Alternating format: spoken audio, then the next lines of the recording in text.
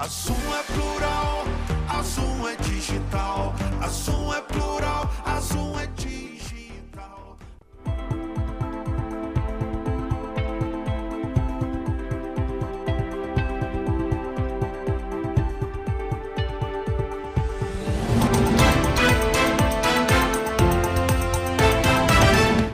Começou! Ótima noite para todo mundo que nos acompanha. Hoje, quinta-feira, 29 de fevereiro de 2024. Estamos no ar, mais uma edição do Seus Um Notícias a partir de agora. Para você, como sempre, com muita notícia, muita informação, então vamos embora, vamos embora tocar esse jornal aqui, porque tem muita coisa para a gente tratar. Já na câmera fechadinha aqui, a gente começa falando, sabe de quê, gente? De uma loucura, hein? Pessoal hoje do Jacina, loteamento Jacina na Chácara do Paraíso, ficou com medo, o pessoal ficou preocupado. Um ônibus da Nova Fall pegou fogo, ficou completamente destruído. Uma mulher, inclusive, ficou ferida com esse incêndio, precisou ser levada para o Hospital Municipal Raul Sertão. Um grande susto para quem é ali do loteamento de Assina. Vamos ver. As imagens que circulam pelas redes sociais são assustadoras. O ônibus está parado bem ao lado de uma casa na rua Cinder, no loteamento Jacina. As chamas se alastram pela rua e uma nuvem de fumaça invade as residências próximas ao local do acidente. Em um dos vídeos, é possível escutar uma mulher que estava no veículo no momento em que ele começou a pegar fogo. Gente, olha isso. A gente estava dentro do ônibus, o ônibus começou a fazer fumaça. Olha só, graças a Deus a gente conseguiu sair a tempo.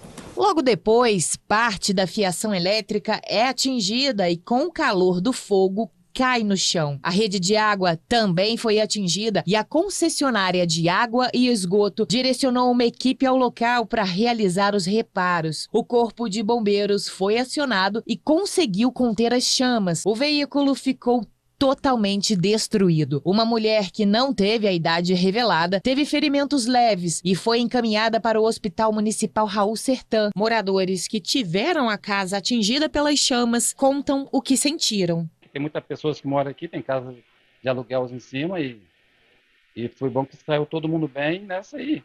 E o prejuízo a gente vai correr atrás. Eu acordei assustado com barulho, um estrondo muito grande. E quando eu vim para fora ver, eu até achei que era a caixa d'água que tinha estourado, mas quando eu vi o garel que estava saindo do lado do meu portão, aí que eu fui ver, era o ônibus pegando fogo.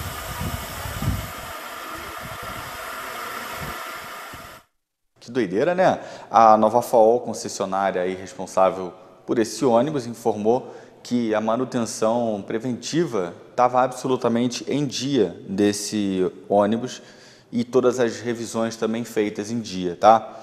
É, também informaram que o incêndio foi controlado pelo Corpo de Bombeiros, felizmente sem vítimas, e a informação agora para você que mora na Chácara do Paraíso, no loteamento Jacina, na Rafael explica que o veículo coletivo foi substituído e a linha está operando temporariamente até a praça do bairro, tá? Então não está indo até mais lá no alto, provavelmente um ônibus maior que não vai conseguir fazer a manobra lá em cima, certo? É, uma equipe da empresa está no local para avaliar os danos causados, fazer a limpeza e dar todo o suporte necessário ao ocorrido. A Nova FAO ressalta ainda que uma perícia técnica será feita para apurar o que realmente causou esse incêndio. E aí reiteram todos os esforços para continuar oferecendo um serviço essencial de qualidade do transporte público municipal, visando a mobilidade urbana, é, nos parâmetros internacionais e também demonstrando inequivocadamente o comprometimento, o compromisso e o respeito por Nova Friburgo. Assina a nota a nova FAO. Esse tipo de coisa, obviamente, pode acontecer. É um susto, ainda mais para quem estava dentro do ônibus, para quem estava naquelas casas ao lado ali, mas ainda bem que sem grandes intercorrências. Vamos mudar de assunto, que eu vou falar um negócio muito bom para vocês, hein, na câmerazinha aberta, João. A situação é a seguinte.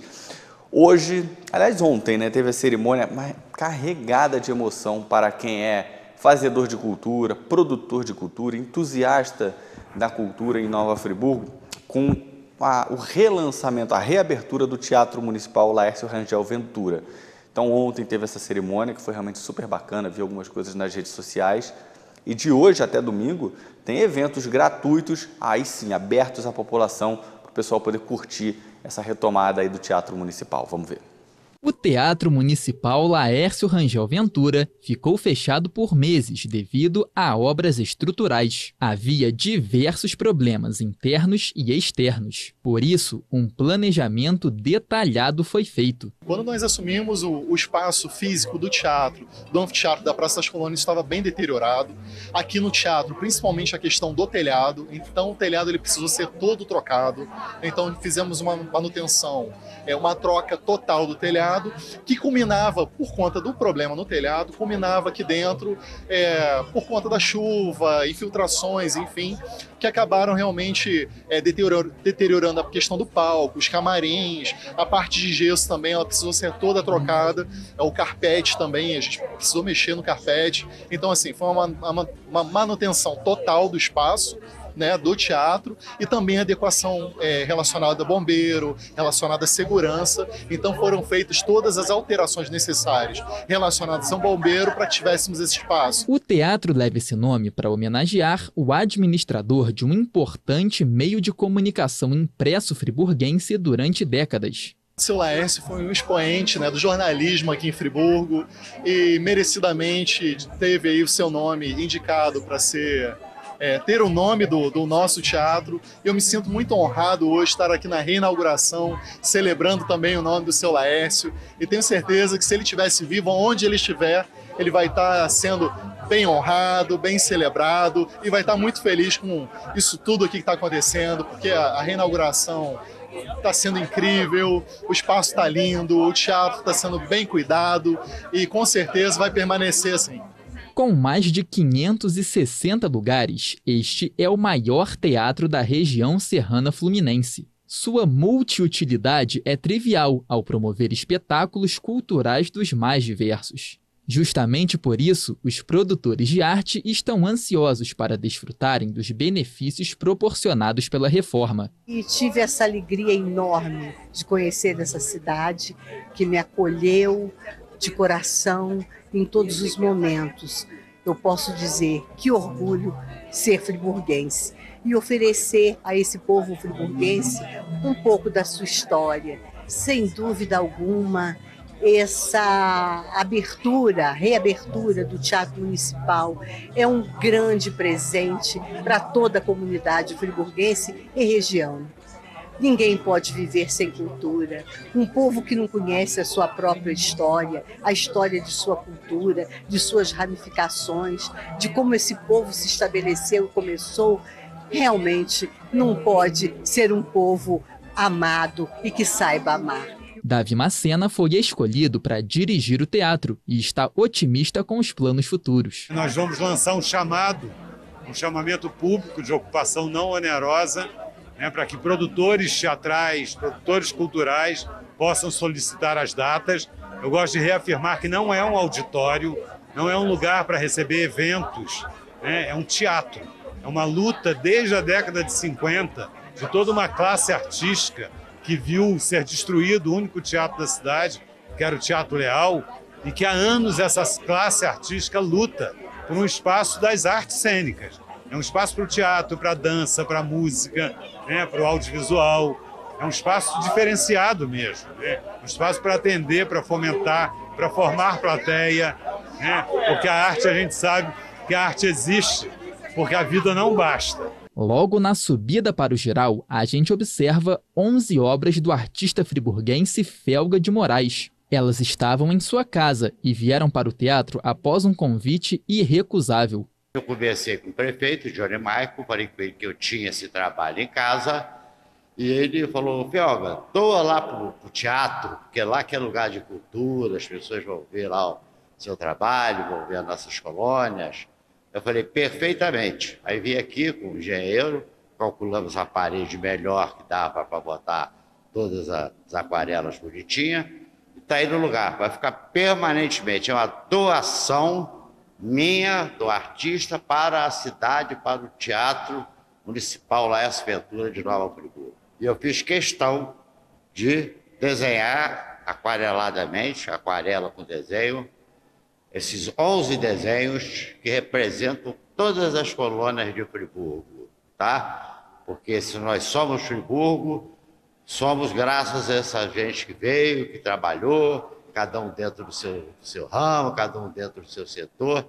E minha obrigação como friburguense é fazer homenagem às pessoas que merecem ser homenageadas. E um ponto é inegável. O Teatro Municipal Laércio Rangel Ventura, além de ter ficado mais bonito do que já era, será uma importante ferramenta para fomentar a cultura e, por que não dizer, a economia e também o turismo. Primeiro eu quero aqui destacar a importância e relevância da gente estar reinaugurando o maior complexo cultural da nossa região. E é claro, está diretamente entrelaçado com o nosso progresso desenvolvimento turístico, como também aí com o avanço da nossa cidade.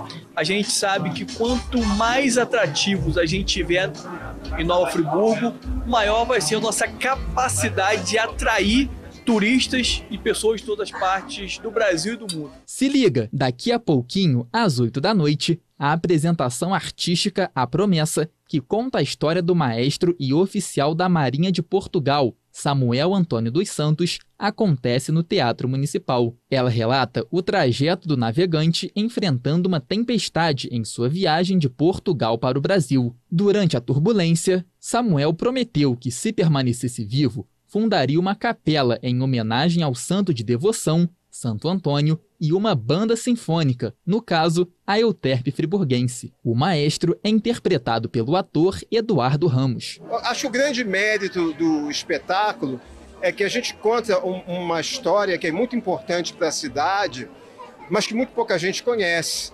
E a gente consegue fazer isso é, não de uma maneira didática, a gente conta a história, mas através do sentimento dos personagens. E isso fez um efeito muito interessante com a plateia. A plateia se emocionou muito, muita gente chorou, muita gente é, é, trouxe um carinho, um retorno muito, muito, muito bacana. E daqui para frente, a expectativa é de um ganho valoroso, tanto com o teatro quanto com o anfiteatro. Eu quero aqui aproveitar o um momento para agradecer e parabenizar todos os atores, todos os protagonistas, nosso secretário Daniel de Cultura, nosso secretário da Casa Civil, professor Pierre, a IMOP, nosso presidente, né, o André Braga, por essa parceria com o município de Nova Friburgo. Eu tenho certeza que esse ambiente aqui será um ambiente como um grande palco né, de saúde mental, de transformação de vidas, porque a cultura tem esse poder, essa capacidade, e é claro, de muito fomento de arte, de cultura, e que vai fazer o friburguense cada vez melhor, inclusive impactando aí para melhorar a qualidade de vida de todos nós.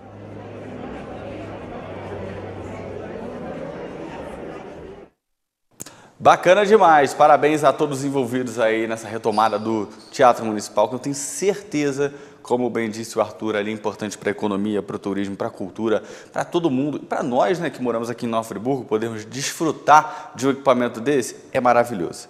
Vamos embora, vamos para o próximo bloco. Lembra aquele deck da Vila Amélia, Rua Teresópolis, polêmica como sempre?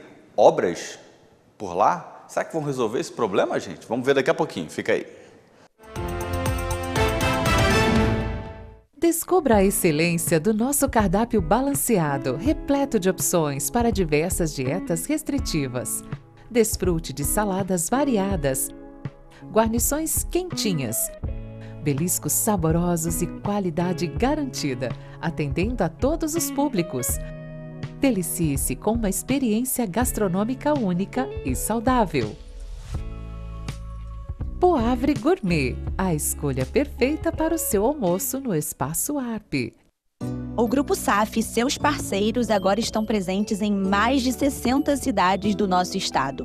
Um crescimento responsável e reflete a nossa missão de entregar benefícios que melhoram a qualidade de vida da nossa gente. Para retribuir essa confiança, lançamos a mais nova plataforma online de benefícios e vantagens.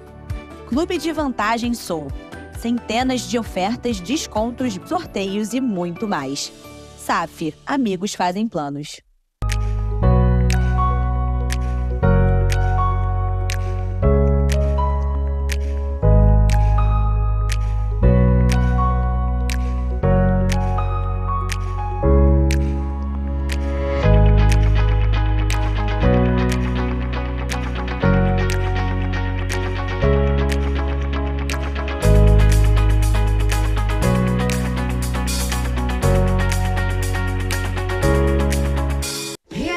Seu projeto de vida no Residencial Gardênia, pertinho das mais variadas opções de comércio, serviços e entretenimento, oferecendo muito mais praticidade para o seu dia a dia. Apartamentos de dois ou três quartos com excelente acabamento, prédio com elevador, garagem coberta e salão de festas. Tudo planejado para proporcionar a qualidade de vida que sua família merece. Venha descobrir todas as vantagens de morar no Vila das Flores. Ligue 2522 1329 e agende sua visita. Construção e venda Gemini Engenharia.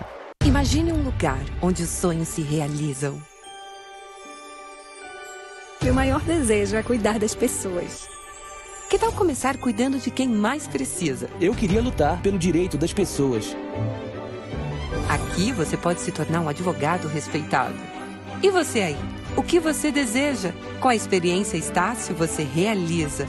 Universidade Estácio, a maior realizadora de desejos do Brasil.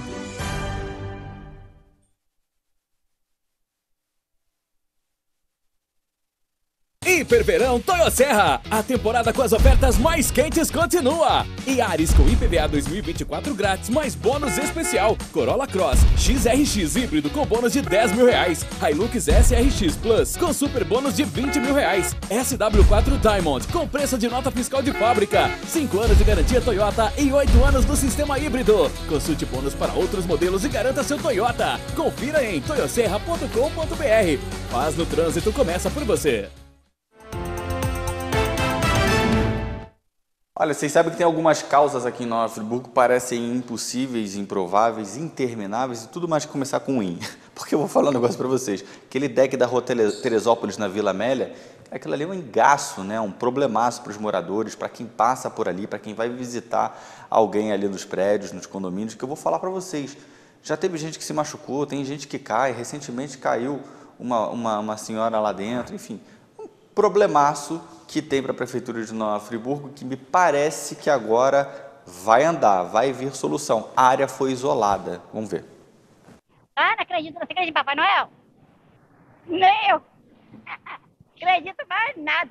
Essas foram as palavras da dona Inês quando eu perguntei se ela acreditava em uma solução definitiva para o trecho do bairro Vila Amélia, onde decks de madeira permaneceram por anos. Isso causou diversos transtornos e agora a área se encontra interditada. Um dos problemas foi com a Sandra Helena, que mora ali há 38 anos. Quando houve a tragédia de 2011, né, pós isso foi, é, foi colocado aquelas madeiras em 2014. Então, em 2015, eu levei um tombo terrível. Você vê, tinha apenas um ano que as madeiras estavam aí.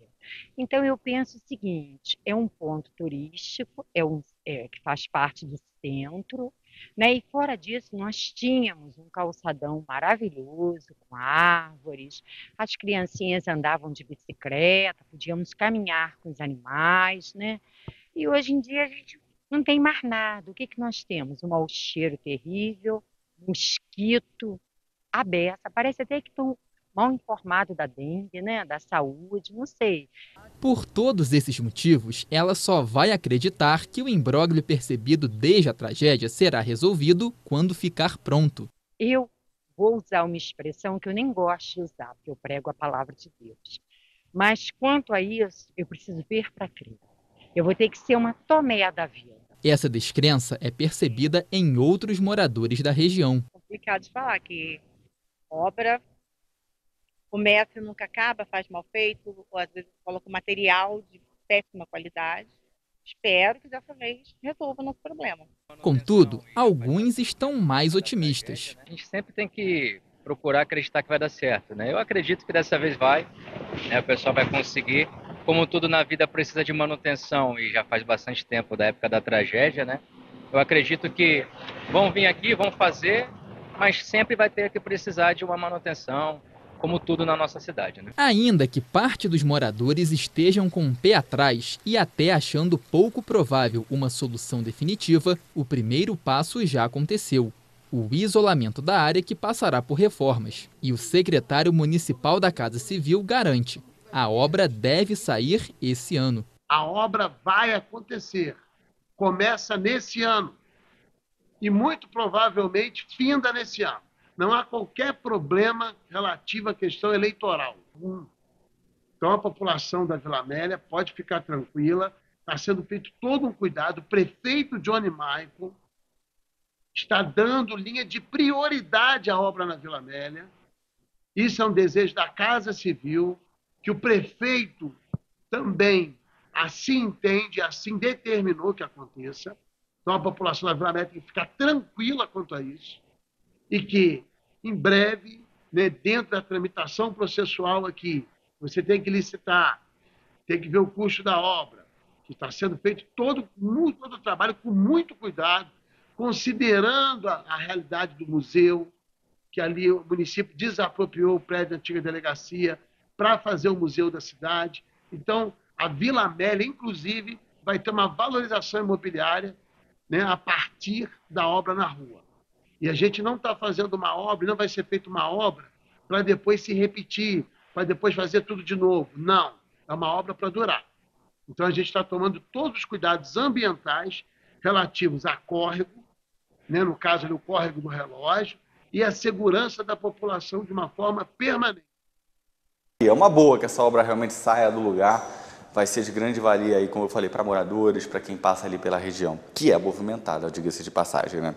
Agora, gente, vamos falar aqui que a Câmara aqui de Nova Friburgo, dos vereadores, aprovou por unanimidade na sessão da última terça-feira a garantia de salário mínimo a todos os servidores do Executivo Municipal. É um projeto, inclusive, da própria Prefeitura. Vamos ver.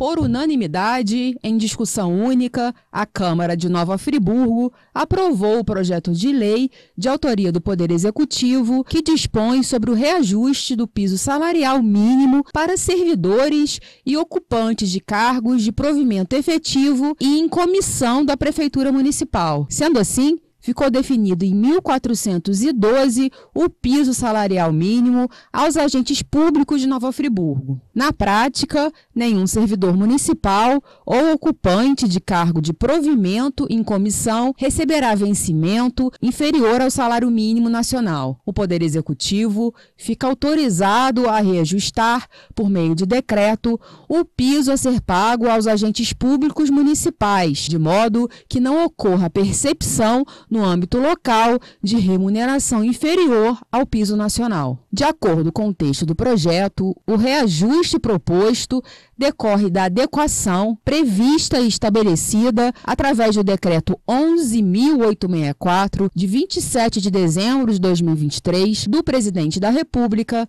que dispõe sobre o valor do salário mínimo para o ano de 2024. A Constituição Federal também preconiza o trabalho como um dos fundamentos do Estado democrático de direito e, em consequência, o direito fundamental ao salário como forma de contrapartida do trabalho, assegurando assim uma existência digna a todos. O projeto segue ainda essa semana para a sanção do prefeito Johnny Michael. E uma luta né, do servidor há anos né, em relação a isso, tomara que realmente saia do papel. Vamos embora, próximo bloco, vamos ver como é que fica a previsão do tempo, por enquanto está segurando. Vamos ver se eu vou fazer minha aula de tênis amanhã, seis e meia da manhã. E também os destaques da região. Fica aí. Hiperverão Toyo Serra. A temporada com as ofertas mais quentes continua. E Ares com IPVA 2024 grátis, mais bônus especial. Corolla Cross XRX híbrido com bônus de 10 mil reais. Hilux SRX Plus com super bônus de 20 mil reais. SW4 Diamond com preço de nota fiscal de fábrica. 5 anos de garantia Toyota e 8 anos do sistema híbrido. Consulte bônus para outros modelos e garanta seu Toyota. Confira em toyoserra.com.br. Paz no trânsito começa por você.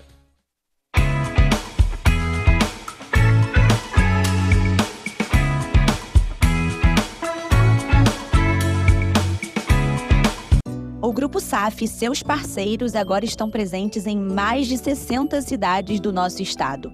Um crescimento responsável e reflete a nossa missão de entregar benefícios que melhoram a qualidade de vida da nossa gente. Para retribuir essa confiança, lançamos a mais nova plataforma online de benefícios e vantagens. Clube de Vantagens Sou.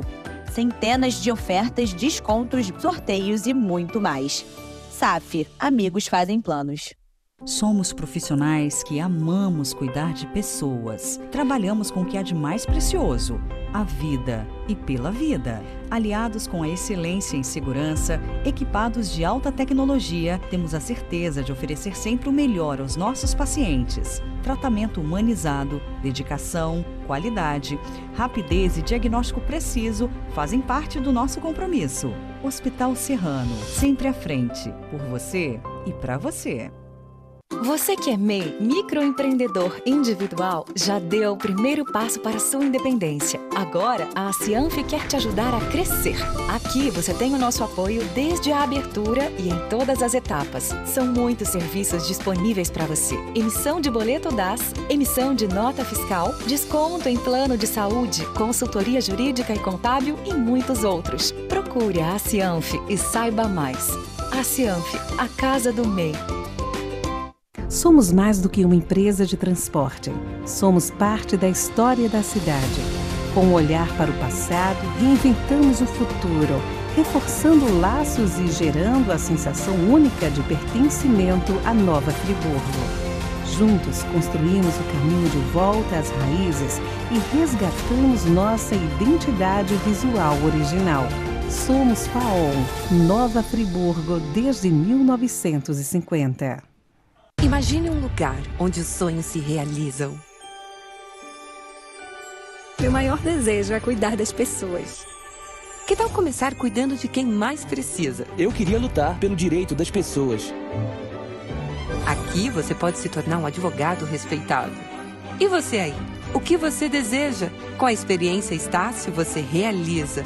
Universidade Estácio, a maior realizadora de desejos do Brasil.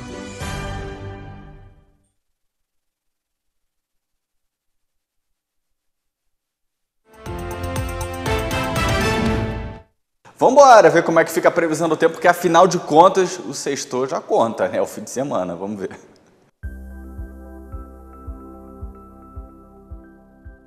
O começo do seu fim de semana será de tempo firme em Nova Friburgo. Graças ao sistema de alta pressão atmosférica, as nuvens pesadas de chuva já se afastaram da região serrana. O máximo que teremos é de até 15 milímetros de chuva, que é o mesmo que rápidas pancadas de chuva e de forma isolada em alguns bairros. Teremos também algumas trovoadas, mas nada do que se preocupar. O dia será de sol entre algumas nuvens e com temperaturas entre 26 graus e 18 graus. E hora da gente ver também os destaques da região. Vamos lá.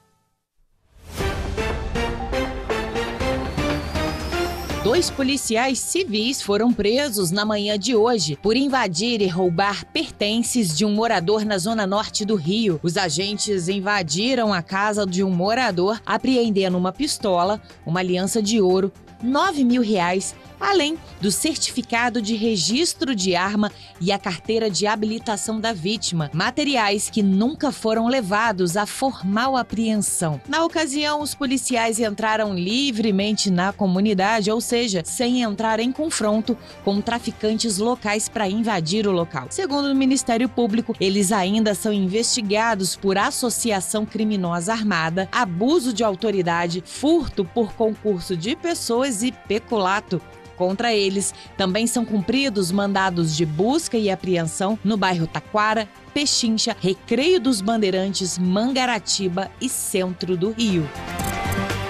Sueli Pereira da Silva, de 43 anos, foi encontrada morta dentro do próprio apartamento na zona norte do Rio. A mulher foi encontrada por vizinhos com marcas de faca. De acordo com eles, o ex-companheiro de Sueli teria sido visto saindo do prédio. O corpo de bombeiros foi acionado às 11h20 da manhã, mas eles já encontraram a vítima morta. A delegacia de homicídios investiga o caso. Sobe para 10 o número de mortes por dengue. O caso mais recente foi registrado ontem em Resende, que já contabiliza dois óbitos pela doença. Segundo a prefeitura, a primeira vítima seria um idoso de 87 anos, morador do bairro Cidade Alegria. A segunda vítima ainda não teve a idade revelada. Até o momento, foram confirmados 1.679 casos de dengue na cidade. O governo do estado decretou epidemia de dengue na última semana, já que o número de casos é 20 vezes acima do esperado. Já foram registradas duas mortes na capital, uma em Mangaratiba, uma em Cachoeiras de Macacu, uma em Três Rios e outra em Resende. O estado investiga ainda outros 75.790 casos da doença. Agora, uma notícia boa para os correntistas da Caixa Econômica Federal. O banco anunciou que fará a devolução de valores de tarifas cobradas indevidamente dos clientes. A ação tem o objetivo de corrigir cobranças feitas de forma equivocada. A instituição financeira é a que mais possui clientes no Brasil, com mais de 150 milhões, e reforça que todas as mudanças precisam ser comunicadas para que ninguém seja pego de surpresa empresa. O anúncio foi feito no site oficial da Caixa Econômica.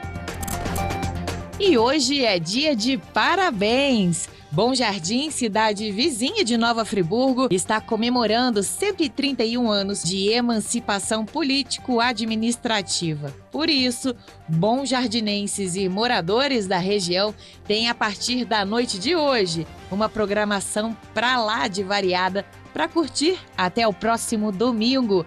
Os principais destaques são os shows da cantora gospel Sara Beatriz e da dupla sertaneja César Menotti e Fabiano. Todos os shows são gratuitos e acontecem na Praça Nilo Peçanha, no centro. O secretário de Turismo do município, Jackson Vogas, deixou um recado para quem for prestigiar o aniversário da cidade. Para Bom Jardim, essa é a nossa data mais nobre, onde a gente realmente traz os shows de maiores voos.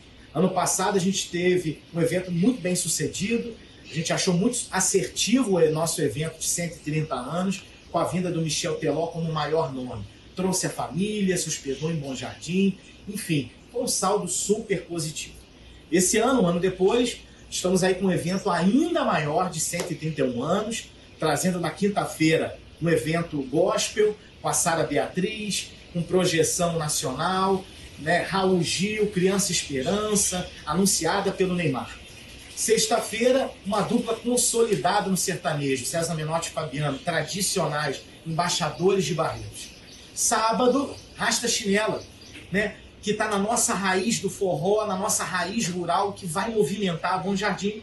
Domingo, nossas pratas da casa, atrações infantis e familiares, é, shows é, da, nossa, da nossa cidade, e terminando a noite, Eric Almeida, que é um talento regional. Então fica aí para você de Friburgo e região o convite. Venha nos prestigiar, venha no nosso evento. É a nossa hora de contribuir com a região.